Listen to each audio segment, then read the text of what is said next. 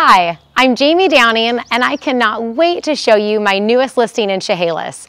If you are looking for a one-story home with an attached four-car garage with room for a 12-foot high RV with ample storage and plenty of parking in the driveway, look no further.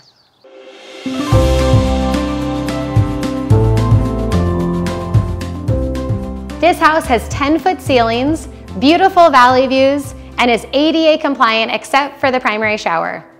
The home is two bedrooms and two bathrooms. There's so many things to love about this easy one-story home.